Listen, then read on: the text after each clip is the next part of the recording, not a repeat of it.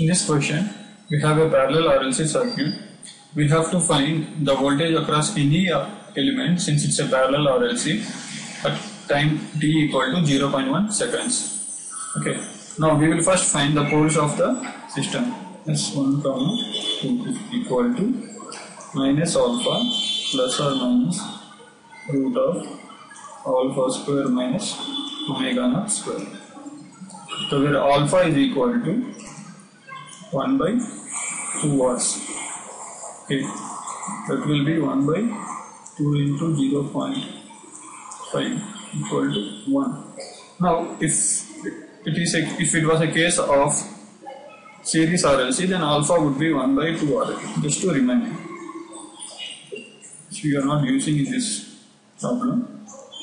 But, but if it was a series RLC, everything would be the same other than the formula that you make use for determining alpha. Now, omega naught is equal to 1 by root square. It's equal to 1 by root of 0 0.5 with 0.707. Now the value of alpha omega omega naught will be the same for either cases, be it a series or parallel case. Now, S will be minus 1 plus or minus 0. Okay, so it is a under damped case. Now V of t will be e power minus t because the coefficient here is 1. A cos t plus B sin t. The coefficient of the imaginary part is a frequency. Okay, since it is 1 here, we will have A cos t plus B sin t. Okay, now we have found the response of the system, that is the voltage across any element. We have to make use of the initial conditions to determine the voltage. Okay, first let us see what the initial voltage will be.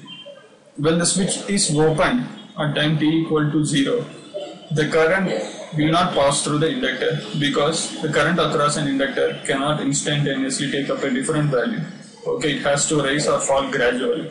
So, at time t equal to 0, the current through the inductor will be 0. Okay, the current through the resistor should also be 0. Okay, this is because if there is a current that is passing through a resistor, then there will be a voltage drop across it, and hence the same voltage drop would be available across a capacitor. Okay, now we know that the voltage across a capacitor cannot take up a different value suddenly, it has to rise or fall gradually, like the case of a current in an inductor. So, the voltage across the capacitor will also be zero, and for that to happen, there should be no current that will be passing through the resistor. So, all the current will have to pass through the capacitor. Okay, and the point that is to be noted here is the voltage across all these elements at time t equal to 0 will be equal to 0. Okay, so V of 0 will be equal to 0. So substituting this in this equation, okay, we get A equal to 0. Now V of t will take the form e power minus t b sin. Okay, now we know that current through a capacitor is equal to C dV by dt. So the initial current like I have just explained will be equal to 2. All the current will be passing through the capacitor.